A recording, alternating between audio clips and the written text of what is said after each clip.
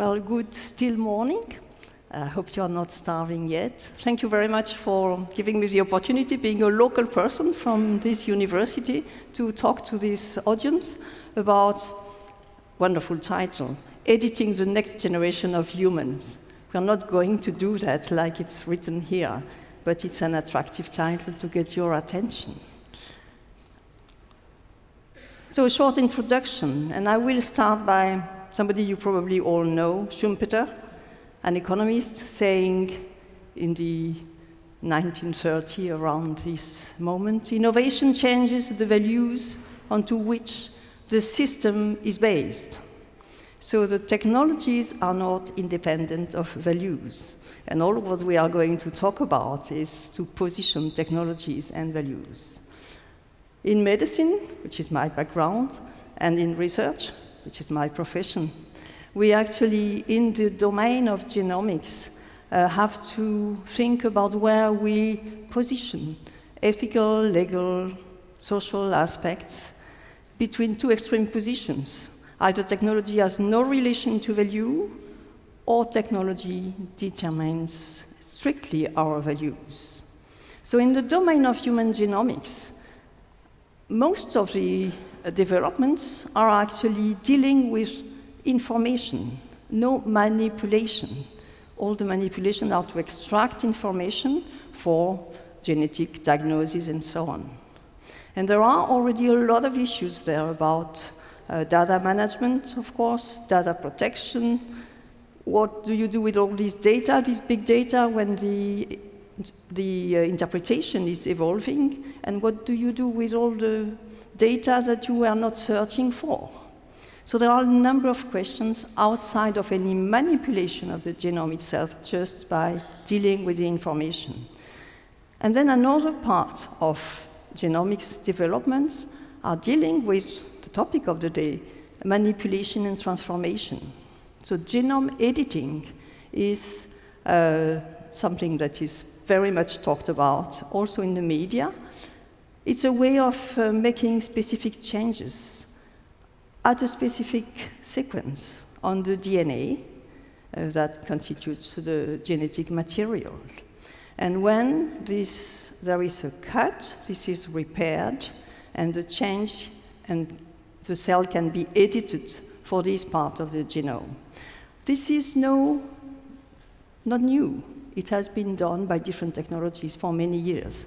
But with this technology called CRISPR-Cas9, uh, which has um, had five years now of massive dissemination of the technique in all domains, including the human domain, uh, all over the world.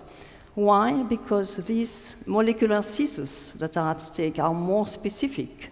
The technology is easier, cheaper, and faster, and that changes the possibilities. It makes it possible to foresee more efficient genome modifications, more precise, more secure for therapeutic purposes.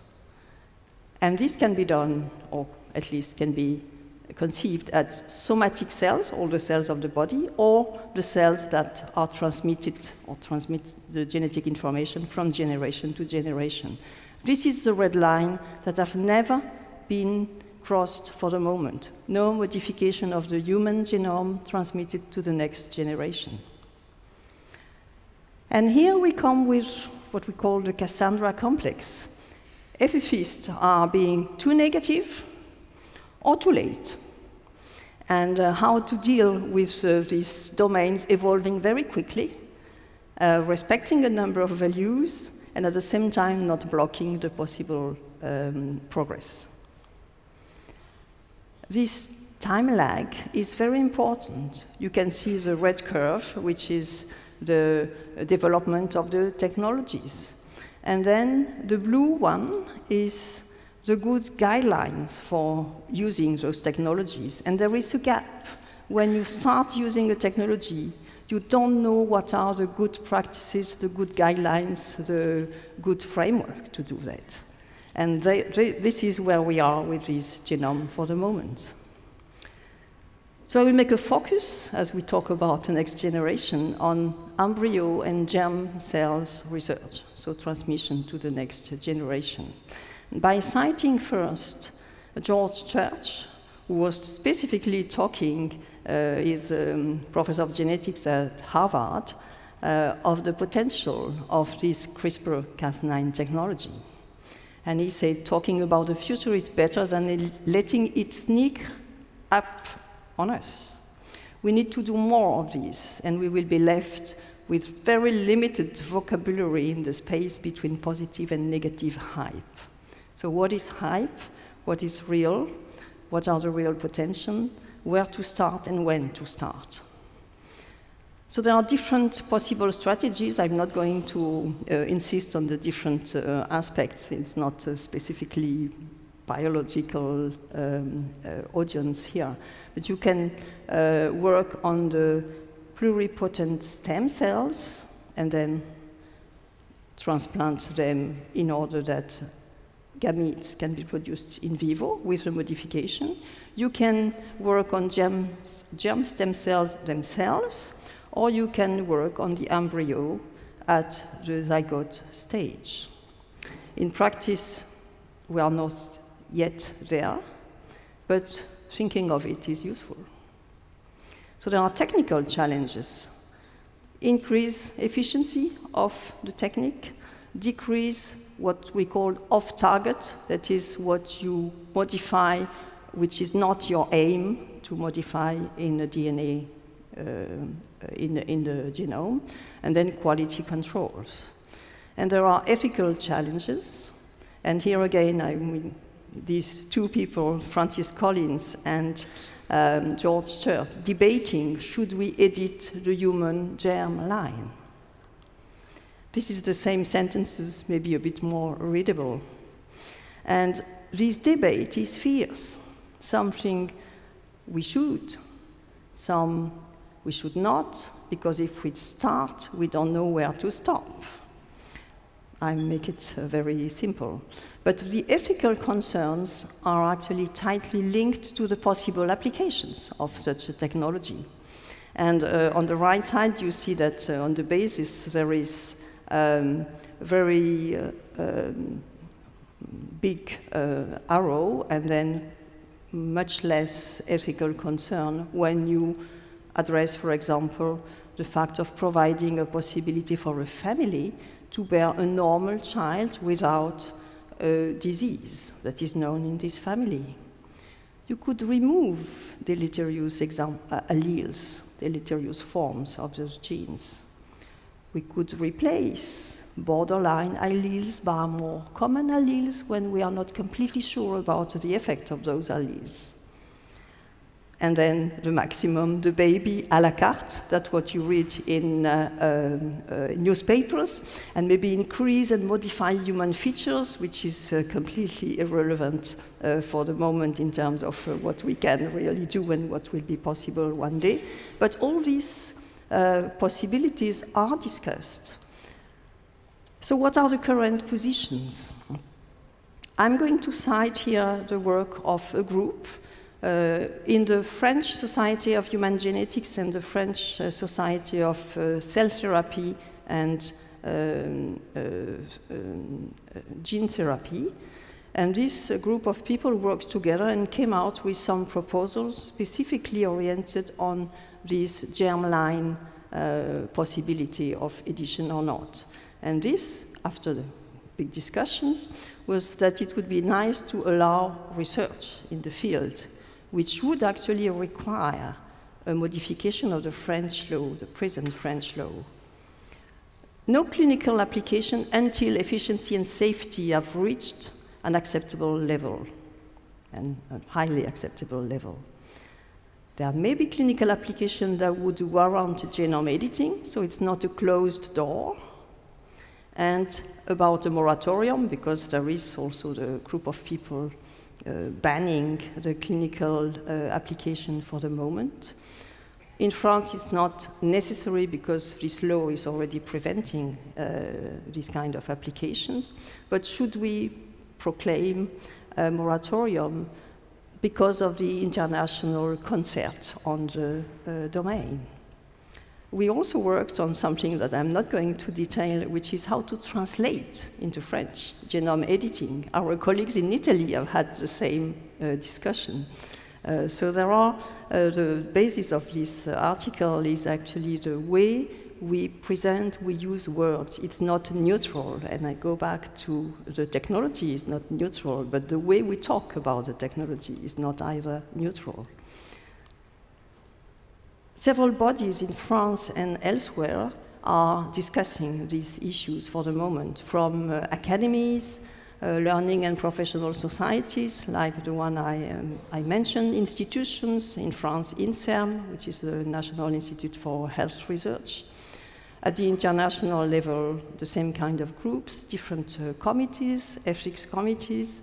And in USA in February, there was, this year, there was the recommendation that proceeding to clinical application with a very strong oversight and control could be permitted. So that was the first crossing the line that has been proposed. The INSERM ethics committees, I'm not going to read all of that, uh, is um, giving uh, its opinion, uh, and I will just say that they consider that we have to respect that any germline modification, that the third point, for reproductive transmissions is forbidden for the moment until the risks are clearly established and societal debate held. And this aspect, societal debate, is very important because it's not only the researchers, not only the technologists, not only the policymakers, but in very difficult situation where we ask ourselves, should we allow ourselves to modify the human genome in the future or not, uh, we need a societal debate. The American Society of Human Genetics has about the same um, position, uh, but currently what they say is that there is no reason to prohibit in vitro germline, so the research in vitro should be done. Of course, there is the perspective of the in vivo when you do the research in vitro, so thinking ahead is important. The European Group on Ethics, don't read all of that, that's the body that um, um, counsel the European Commission on ethical aspects. And what they have said is, it's an important topic, we have to work on that at a time, and the debate has to be inclusive. So you can see that all the experts groups talk about a societal debate, and it's not so easy to organize. Uh, there is a recent publication called Fostering Responsible Research with Genome Editing Technologies, a European perspective. And what these uh, professionals call for is the um, sort of uh, supervision at European level in order to um, foster, to see, to discuss, and to have a body to refer to at European level. So that's where we are for the moment with these technologies. And what I'm going to conclude with is talking to you about a forum called Euroscience Open Forum that's going to be held here in Toulouse uh, next year from the 9th to the 14th of uh, July 2018. I'm what is called the champion of this event, and there are many, many different topics uh, that can be uh, developed in this uh, forum that uh, gather four to 5,000 people researchers, policymakers, uh, also journalists, um, students, uh, young researchers, industry people. And all these people discuss basically what are the relations between science, technology, innovation, society. And of course, on different uh, aspects, uh, there is a huge list of um, possible um, topics that will be held in different uh, sessions. And one of them, for sure, is the one I was talking today about, with the positions and the developments, both technological uh, and in the domain of regulation, uh, in this domain, in the topic health in our societies. There is a call, still you can participate in it, for the Science to Business program, which is an entire program of ESOF, and also open until the end of this month, careers, which is a topic of a program for, for young researchers. What can I do? And there are milestones, and I will just finish with that. Uh, 31st of October, and then the registration for this event with a lot of uh, um, interesting topics will be open by the end of this year. Thank you very much for your attention.